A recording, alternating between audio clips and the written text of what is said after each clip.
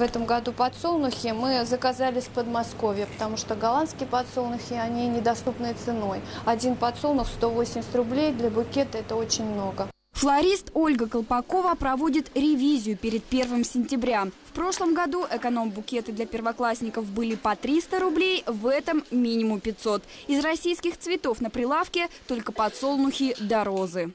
Пробуем заказать с наших российских поставок, но, конечно, сложно. Не всегда есть большой ассортимент, чтобы мы выбрали. Поэтому 90% у нас остается Голландия.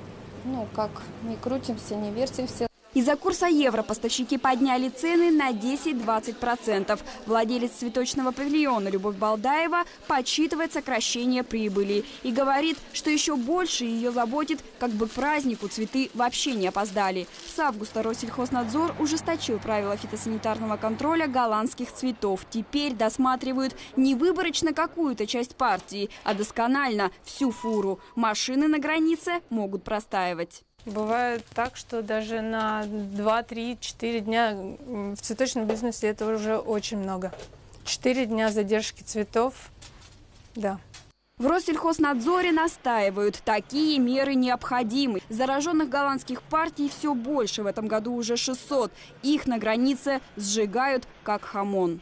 50% продукции голландского происхождения на сегодняшний день являются зараженными. В 2008 году Голландия официально признала, что они не способны выполнять требования Российской Федерации, но был выработан другой механизм. Свою продукцию они поставляют э, в страны-члены Евросоюза, такие как Словакия, Чехия, Латвия, Литва и ряд других стран, которые уже берут на себя ответственность, сертифицируют эту продукцию и поставляют на территорию Российской Федерации. Но такой несколько обманный механизм Россия потребовала у Восточной Европы больше не сертифицировать и не продавать голландские цветы. Страну не хотят пускать табачную белокрылку, белую ржавчину хризантем и западный калифорнийский цветочный трипс. Ну вот видите, вы можете у него увидеть крылья, за счет чего он быстро распространяется достаточно далеко. Западный трипс опасен тем, что переносит вирусы и выпивает все соки из цветущих растений, в том числе огурцов и помидоров. Это может повредить урожаю. В Россельхознадзоре оценивают, при широком распространении этого насекомого ущерб хозяйства может достигать до 300 миллионов долларов в год. Это очень дорого. Бывает, доходит до таких случаев, то, что приходится уничтожать целыми теплицами, потому что им с ними просто не могут справиться. Сжигают, что? Сжигают. Агроном Екатерина Колесникова наглядно демонстрирует, как ищут трипса. Цветы трясут и просматривают то, что выпало под микроскопом. Если учесть, что в фуре в среднем полмиллиона растений, процесс явно не быстрый. В одном из образцов, наконец, находим трипса. Он уже носится по колпачку. Только он оказывается не запрещенным западным, а разрешенным отечественным трипсом, табачным. На самом деле он наносит тот же вред, что и западный. И вообще трипсов в России много разных, только они уже прижились и потому, в отличие от западного трипса, не считаются карантинными. Это у нас Израиль.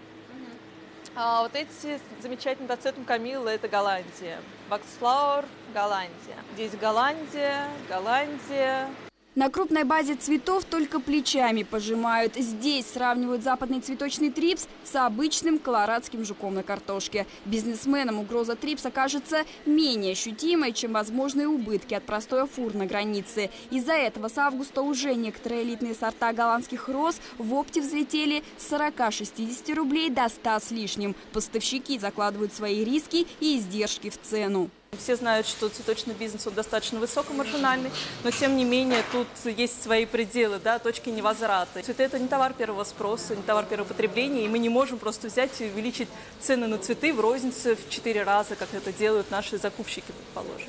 Но мы вынуждены свою маржу, соответственно, снижать, мы вынуждены снижать собственную прибыль.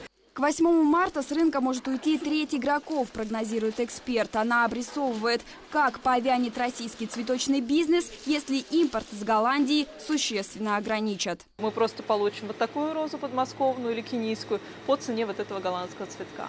А если переходить только на прямые поставки из Колумбии и Эквадора, то кроме роз покупать будет почти что нечего. Представители цветочного бизнеса поясняют, Голландия обеспечивает основной ассортимент на наших прилавках. Так, летние ромашки, колокольчики и гортензии – это все Голландия. Весеннее разнообразие – нарциссы, тюльпаны, фрези, гиацинты – также обеспечивают Нидерланды. А вот у России, как и у Кении, Эквадора, специализация довольно узкая. Такие страны выращивают и поставляют почти одни только розы.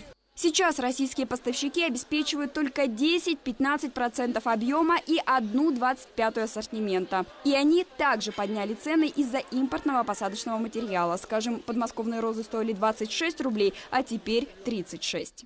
Эту хризантему мы вырастили к 1 сентября Дню Учителя, а, порядка 150 тысяч штук.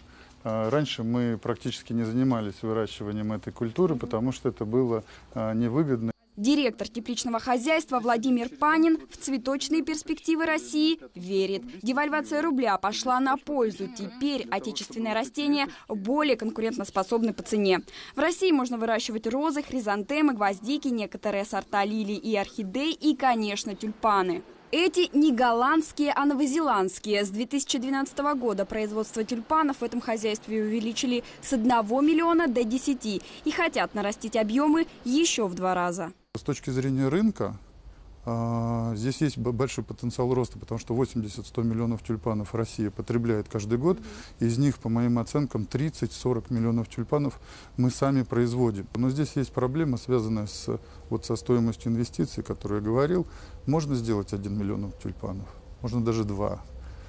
Но чтобы перешагнуть за 3, за 4, нужна уже гидропоника, автоматизация. Затраты на обустройство одного гектара теплицы, где можно вырастить до 4 миллионов тюльпанов в сезон, составляют около 80 миллионов рублей. Оборудование для круглогодичного производства цветов – это дорого. Поэтому в целом цветочное импортозамещение в России – явление сезонное. И от Голландии никак не отказаться. Впрочем, и Россельхознадзор пока на этом не настаивает. Ведомство утверждает, в связи с новыми правилами контроля поставки голландских цветов не сократились настолько, чтобы повлиять на цены цены. Это, в общем-то, желание наживы под э, общей оглаской там, эгидой того, что, а, вы знаете, нас сегодня Голландия не поставляет. Поставляет в обычных объемах поставляет. И здесь, конечно, необходимо подключаться э, ведомству ФАС для того, чтобы просто контролировать эту ситуацию. В стране дефицита цветов к 1 сентября не ожидают, но цены в среднем все равно вырастут еще на 15-20%. Бизнесмены боятся ужесточения ограничений и наверняка хотят заработать про запас. Алена Евдокимова, Денис Дубовиков, Павел Благонравов, РБК.